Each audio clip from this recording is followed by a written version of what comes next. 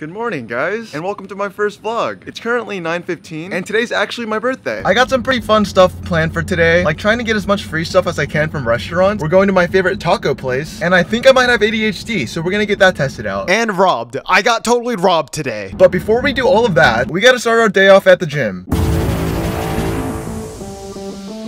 This is your reminder to go hit the gym or just get some physical activity in for the day, guys. I saw this stat that 80% of Americans don't even get 30 minutes of exercise a day. That is gross. And what also is gross is me at the moment. So we're gonna go home, shower, and then I wanna go see if I can get anything free. Today's my birthday, and I was wondering if I could get anything free, if you guys give anything out. Um, yeah, we'll give you like one drink. Sweet, that's awesome. Thank you. I don't even like Starbucks that much, guys. I just like free food. Currently, I'm listening to this Mr. Beast interview that only has like 60,000 views, which is crazy. Next stop, the psychiatrist.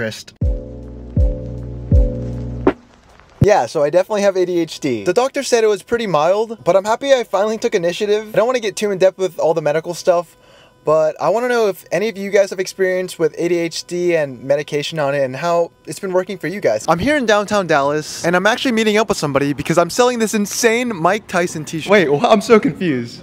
There's nothing So- to be confused about. You bought a stolen shirt. You got scammed. Somebody scammed you with the swap. But now you're trying to steal it back. It's not stealing. It's my property. How? But I didn't know that. Like you, It's I thought fine. you. They finessed you, dude. You got finessed at the swap. Somebody juked you. What actually just happened there? Alright, here's a little bit of context. As I was saying in the clip before that interaction, I was told by a third party that somebody wanted to buy this t-shirt of mine. We texted one another, agreed on a price, and planned to meet up at a vintage shop. I trusted this third party of mine, so I went by myself. That was a mistake. I walk into four guys just staring me down. And in my head, I'm just thinking like, dude, you're about to get robbed. The t-shirt that I was carrying was not cheap. Let's just say I could have bought a new PS5 with it. I go up to shake the guy's hand and instantly it's just super hostile. He starts inspecting the t-shirt and then he claims it's his and then accuses me of stealing it from him. Keep in mind, I've never seen this guy in my life. So now my mind is racing. I'm thinking about grabbing my t-shirt and just running out of there. But one of the four guys is literally blocking the entrance. And this is when I started recording. Long story short, we basically figure out that the guy that sold it to me actually stole this t-shirt from this guy. And you can see by my face, I just don't know what is going on. Literally, as soon as I handed this t-shirt over, this guy put it in his bag, and that was it. I never saw it again. I'm trying really hard not to show how upset I am, but like the fact of the matter is, that guy got his t-shirt back. The guy that scammed me got my $150, and now I'm just sitting here empty-handed.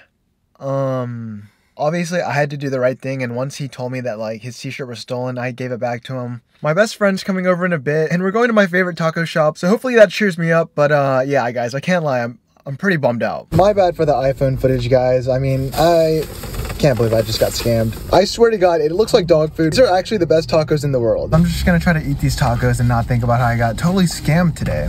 I couldn't even record myself eating the tacos. I just kept thinking about how I totally got set up today. I went home, watched some YouTube, and tried to clear my mind. None of it was really working, so I got the one thing that I know would make me happy. What? No, it wasn't quad. Free Pizookies on my birthday. I was wondering if I can get anything free for my birthday. Like, do you guys still do the free bazooki? Yeah, is it your birthday? Yeah. Oh, happy birthday, man. Sweet, man. Appreciate yeah. you. Happy birthday, man. Thank you. And as you guys can see, I totally devoured that. And if you're thinking to yourself, damn, I want a Pizookie for free, well then just wait for your birthday, because today was mine. If you want to get a Pizookie for just $1, I'll just let our waiter explain. It's a donation. It's a charity that BJ's has been working with for a while. Donate a dollar or more, and then you get a card, a little card that gives you a free Pizookie for your next time or same visit. You guys heard the guy. Go get your $1 Pizookie and tell him I sent you. And in the meantime, I'm gonna try to not think about how I got totally scammed today. Tell him to tune in tomorrow.